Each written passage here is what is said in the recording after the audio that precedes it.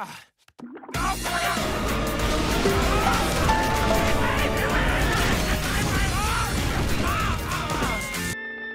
I don't. Maybe just one taste. Kick the body.